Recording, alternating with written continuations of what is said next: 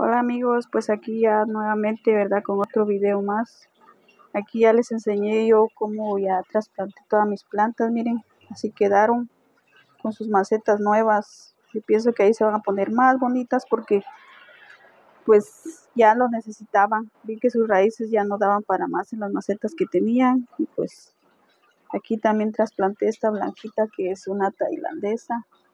Miren, ahí trae muchos botones ya, se va a poner más bonita. No le puse una maceta más grande porque pues ya no tenía, pero pronto le voy a conseguir una, ¿verdad? Otra cosa que les iba a decir que cuando compren sus plantas, si son injertos, esto se tiene que quedar afuera, miren, para que no tengan ese problema de que les vaya, se vayan a podrir. Muchas veces, este, cuando compramos las plantas, a veces no nos dicen, ¿verdad? Pero yo la yo estas plantas algunas las he comprado con un amigo en un grupo y él me explicó que eso era así, ¿verdad? Si no se pudren.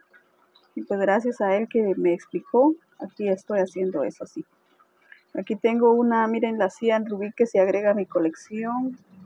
Esta no la tenía yo y es muy hermosa. Apenas ayer la obtuve y pues aquí está mi Cian Rubí. Espero que se ponga bonita, ¿verdad? Y aquí está esta blanca que no, ha floreado, pero ya la cambié de maceta y quedó muy bonita. Miren, sus macetas más grandes. Aquí está la, la Michelle Obama, que también está muy bonita. También cuando la saqué, a sus, sus raíces ya no daban para más en esa maceta. Entonces aquí ella se va a poner más bonita y yo creo que ya pronto va a florear también. Eso esperamos. Y aquí pues esta igual sus raíces ya no daban para más y pues ahí miren ahí quedaron. Aquí está la otra, la White Rose. Ella ya la he compartido en un grupo de California y pues sus flores son muy hermosas. Aquí tenemos a, a la yogur. También ella la cambiamos. De hecho son dos plantas las que tengo. La otra pronto la voy a cambiar también. Pero ahí ya quedaron más y pues ya. Aquí también planté esta de semilla que también la, la obtuve junto con la Cian Rubí. Miren, una semillita a ver qué color me sale. Y pues ya saben, ya les compartí la tierra, solo la componemos de sustrato de coco. Ahí van ustedes midiendo las cantidades porque no les puedo dar las cantidades exactas porque ya vieron que a veces hacemos para cinco plantas, pueden ser para más plantas. Pues lo compusimos de este fibra de coco y pues de esta tierra. A mí me ha funcionado muy bien esta tierra y de esta otra y pues igual vamos midiendo a modo de que la, la tierra quede bien drenada.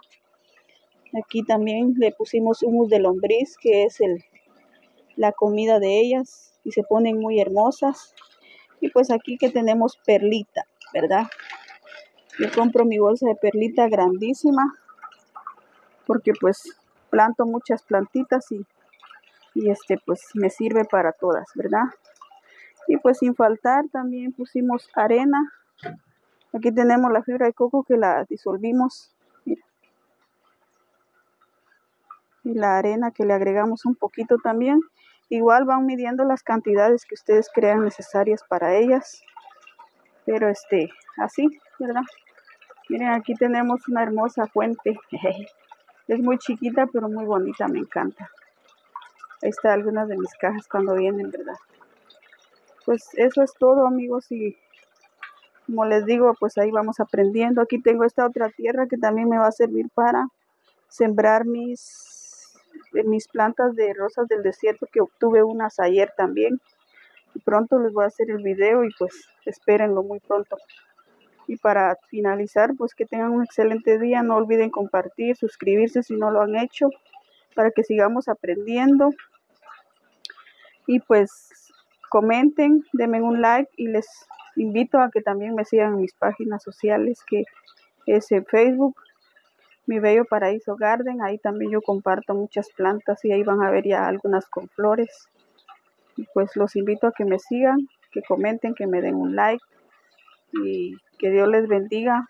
Gracias por su apoyo siempre a todos desde donde me vayan a ver, de México, de, de Guatemala, de de todos los países que me vayan a ver. Espero su comentario ahí desde donde me vayan a ver y algún día poderlos saludar, ¿verdad? Así ya con de frente, ¿verdad? Porque sí voy a grabar un video ya para que me vean muy pronto. Ahorita no he podido porque pues no he tenido camarógrafo. Pero pronto les voy a hacer un videito de esos, ¿verdad? Que Dios les bendiga. Y pues hasta el próximo video y no se olviden que Dios nos ama y que Dios les cuide desde donde estén, porque ahorita estamos viviendo unos tiempos muy difíciles, pero hay que centrar nuestras mentes y nuestras posibilidades, nuestros corazones creyendo que Dios siempre está con nosotros y que Él nos va a cuidar siempre, ¿verdad? Si Él nos ha cuidado hasta ese momento, Él lo seguirá haciendo, entonces no se olviden que Él es nuestro único que está al pendiente de nosotros, ¿verdad? Que Dios les bendiga y pues aquí, sin más que decirles, les agradezco muchísimo y no se olviden que no soy una experta, que yo también estoy aprendiendo y pues Espero también aprender con ustedes, con los que vayan a ver mis videos, sugerencias, yo las acepto, son bienvenidas. Y pues aquí los dejo con esta hermosa vista de la Cian Louis. Pues hasta pronto amigos, que Dios les bendiga y que los cuide. No se olviden darme un like, comentar y compartir. Gracias, adiós amigos de YouTube, que Dios les bendiga.